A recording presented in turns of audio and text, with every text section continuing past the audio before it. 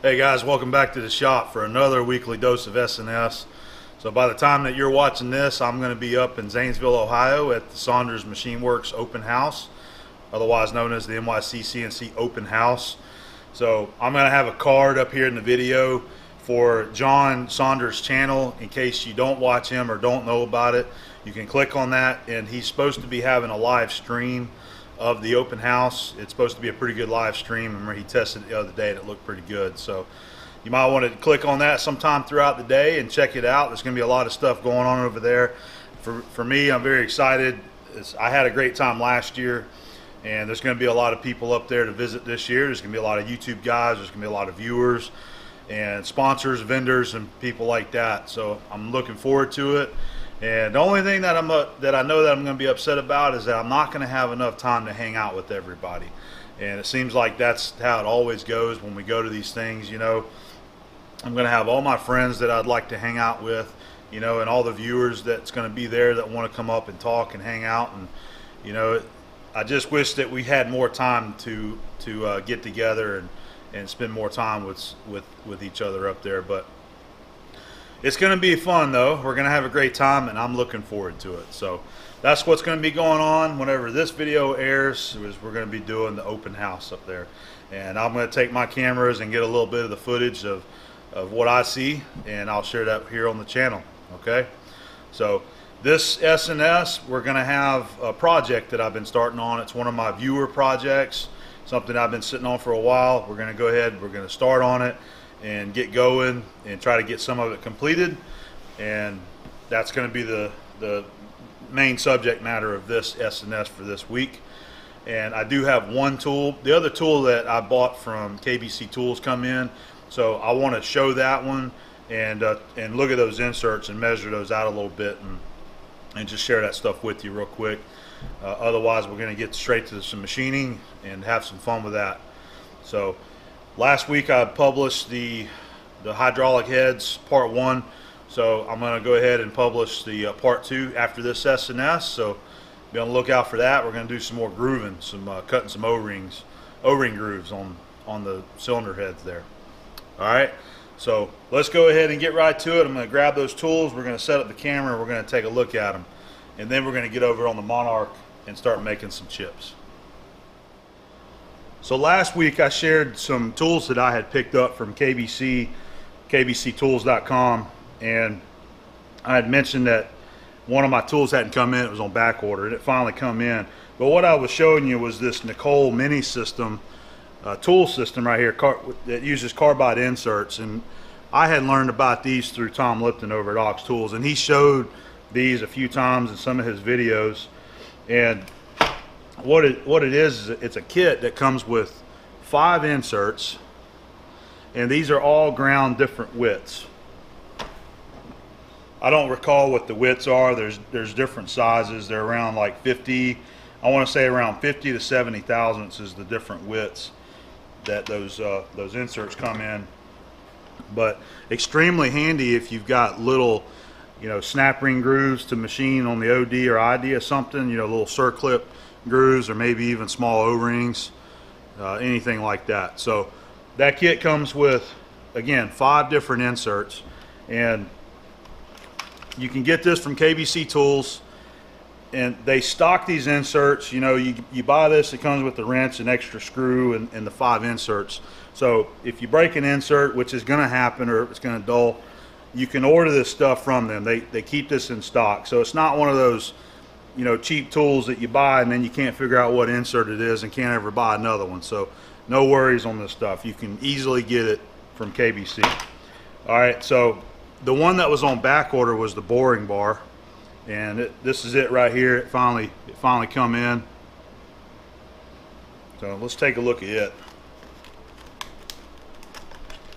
All right, comes with the comes with the torque wrench there.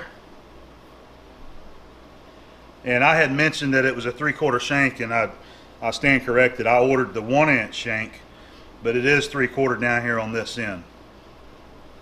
It's got a lot of weight to it. Uh, it feels like a pretty, pretty good quality tool.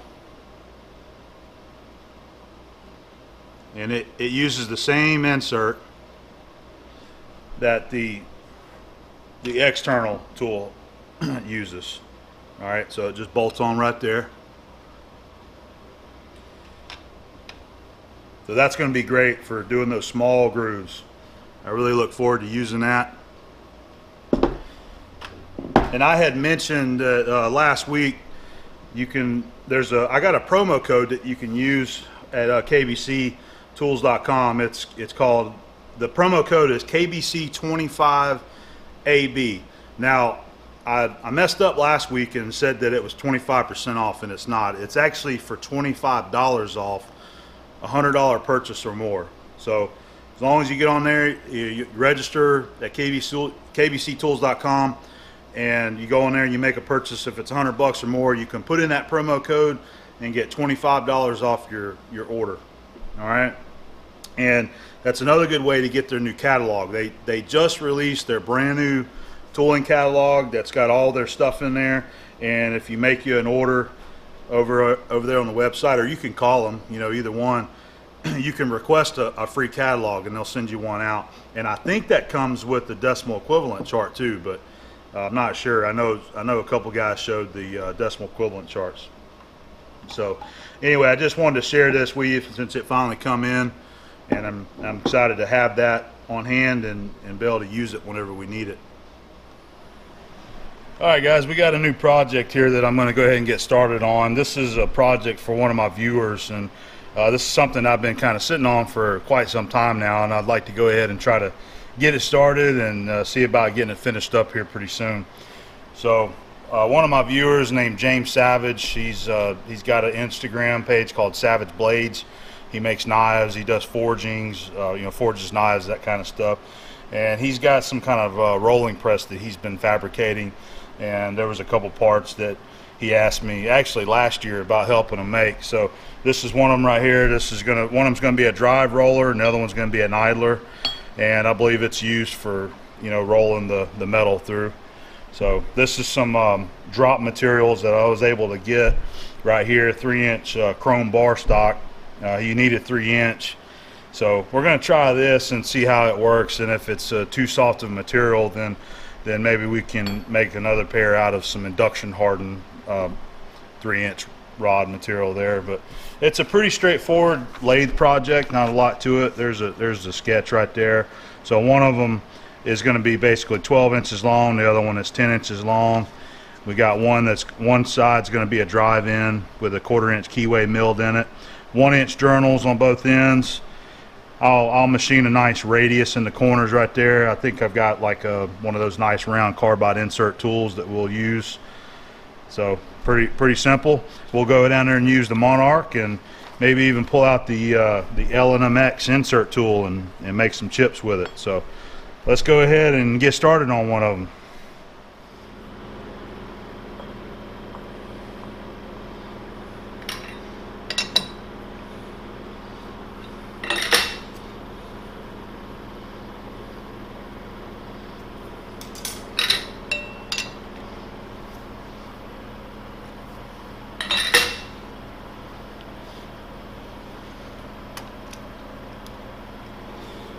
Go ahead and get her trued up.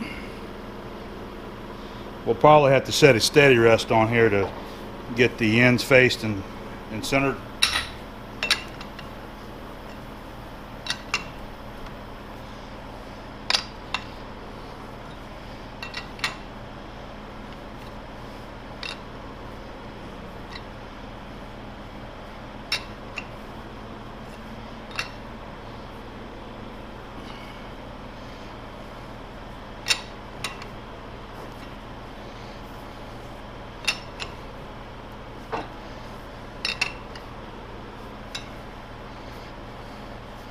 All right, that's about one right there. So we need to go ahead and check our other end here. See if the new Vaughan will move it around just a bit.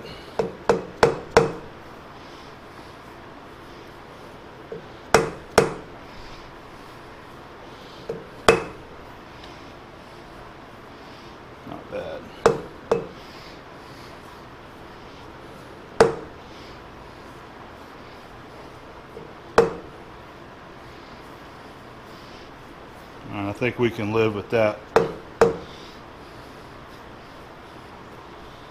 And we'll just go back and forth and make sure we get her squared up good here. We'll just use our steady rest to uh, get the get the ends faced and center drilled, and then I'll take the steady rest back off there.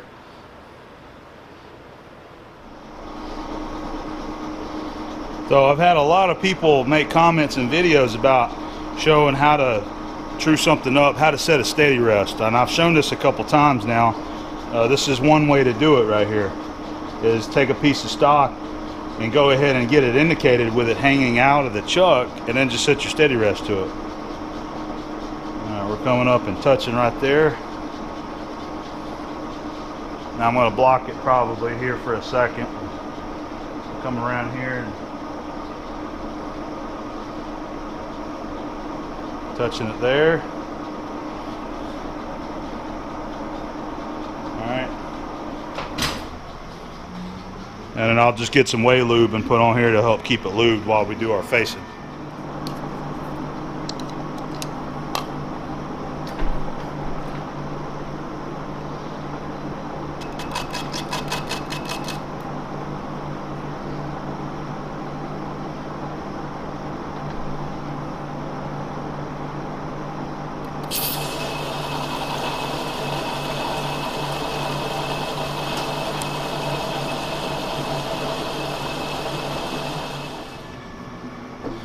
I'm gonna get this, the centers drilled in them. We're gonna we're gonna face the center all four ends and get all that out of the way. Okay.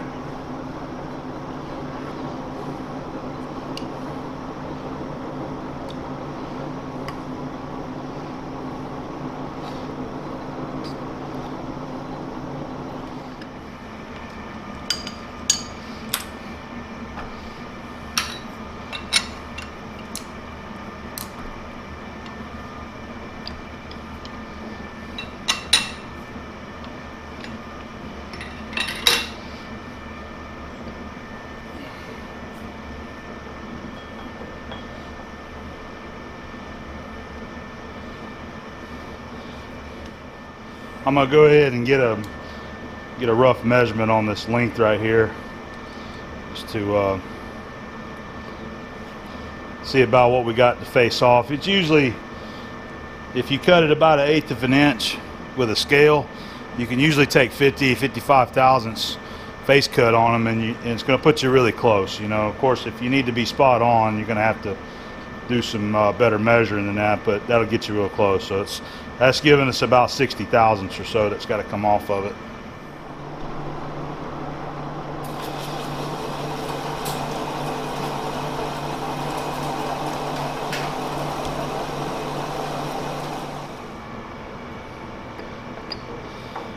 As I said, we're going to do the same thing with the 10 inch length one here. We'll go ahead and get both ends faced and centered.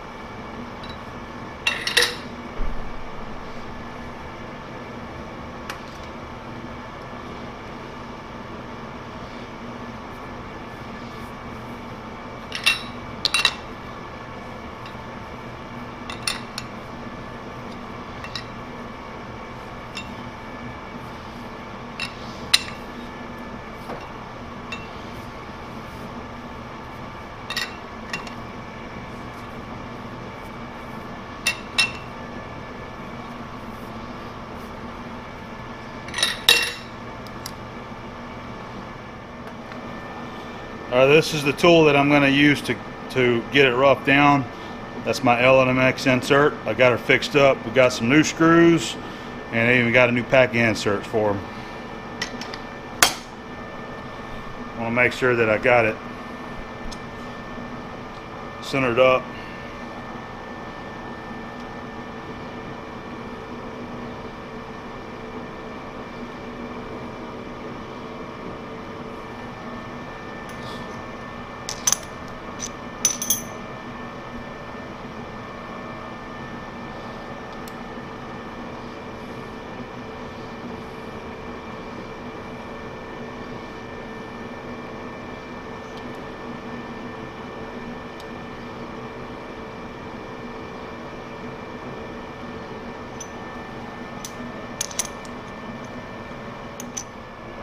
Journals are going to be two inches long on this 10 inch roller here.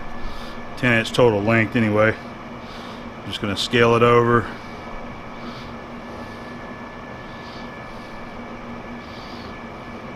Alright, we'll set an indicator at zero.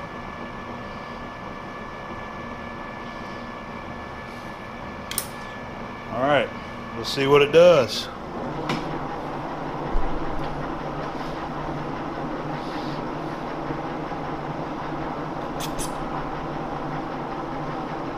Try to come off fast when I touch off on that chrome. It's, it's hard. Let's try a quarter inch on the dial, see what it does here. Beautiful.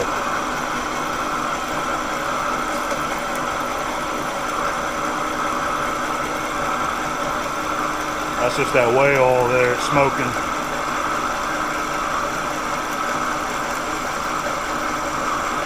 Always my favorite chip right there with that with that tool.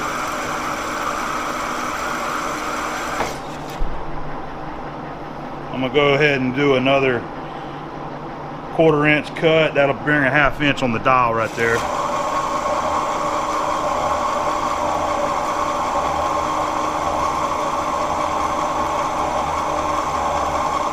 This is 400 thousandths.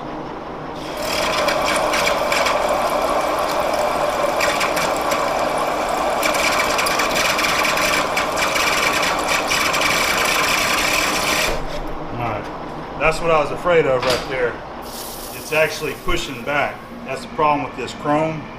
It tries to push back in the chuck there. So I've got to reset this, uh, loosen the jaws up, we'll pull it back over on the center and I'll re-indicate this and we'll back off on our cut.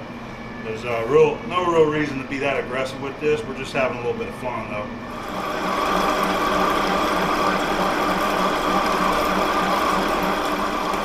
All right, those are 200,000 passes right there kind of clean up that 400. Quarter inch seems to be the, a really good cut with that tool, with what we're doing anyway. So I'll probably just stick with that.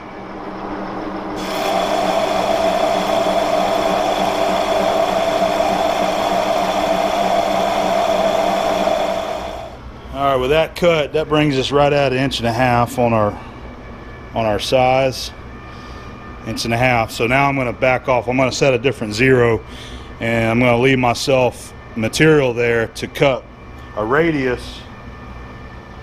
We'll go in there with this round radius tool right here and leave us a nice nice radius. So we'll basically leave like half inch by half inch in the corner for that tool. I had my offset wrong there a minute ago. Quarter inch is what I meant to say. So we got our quarter inch there for our radius tool. This is our last rough cut right here. All right, I'm gonna swap out tools. We're gonna finish that out. All right, we got 60 thou.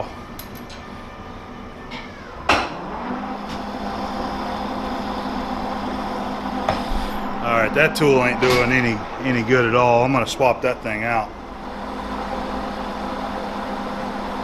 That one's doing better. That's the one I usually use most every day on that 1045.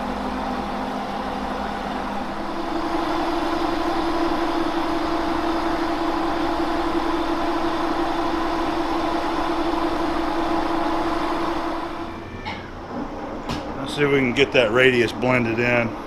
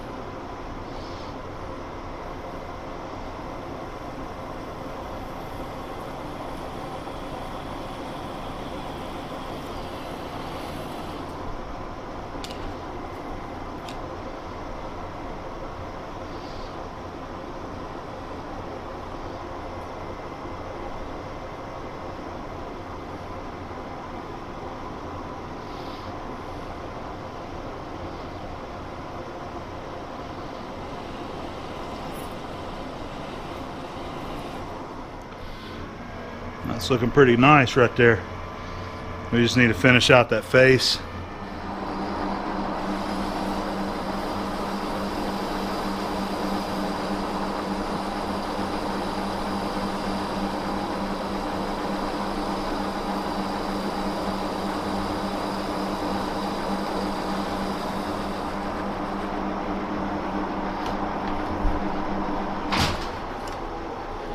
All right, what you think?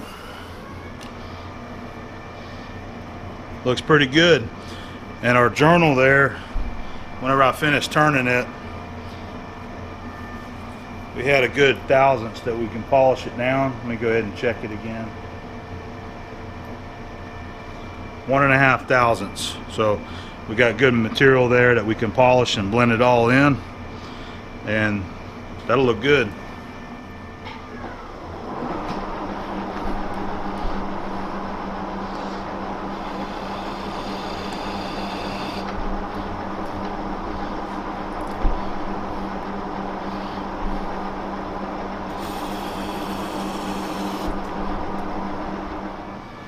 There's our very first end done. So I've got this polished down and it's exactly on one inch. So now we're going to flip it around and I'll protect the chrome with some uh, soft jaws there, some pads, so that it doesn't mar the surface. And then we're going to repeat it on the other side. All right, let's show you the sequence. We're going to get that up in there and just get it held lightly. All right, we'll go ahead and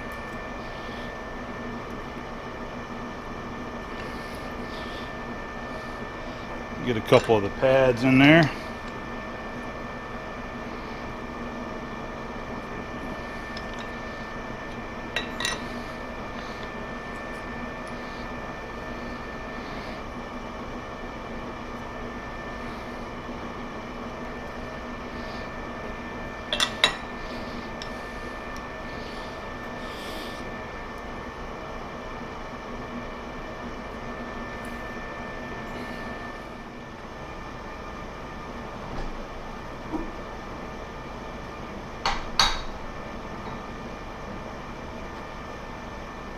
All right, now we just indicate it.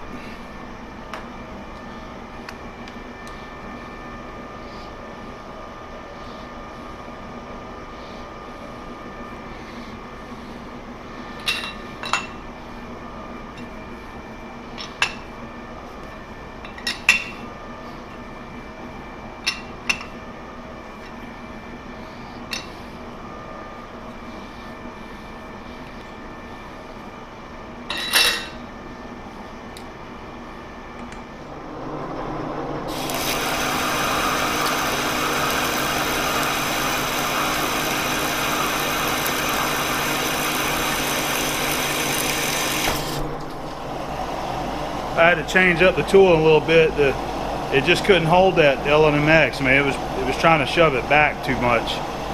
So I had to go with a different type of tool so it doesn't have so much uh, radius in there and, and, and the feed rate. I had to back the feed rate down a little bit. It's just trying to slide on that chrome. We got that side finished within one and a half thousand. It's just the same. So we're going to go ahead and finish that radius out. We'll have a, just a tiny bit of facing to do there to bring it to our six inch width.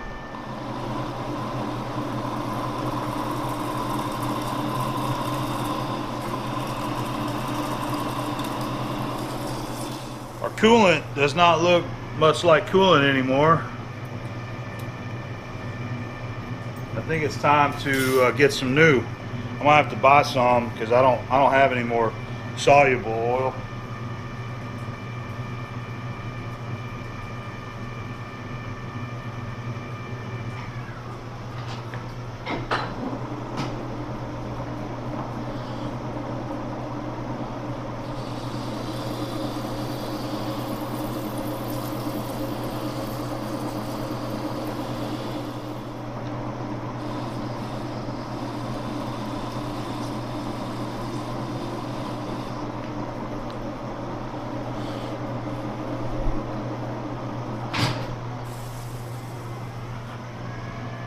we got it that time.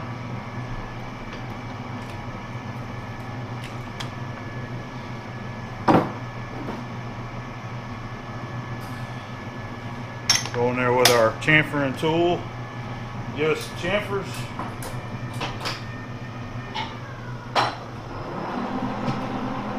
And then polish her out.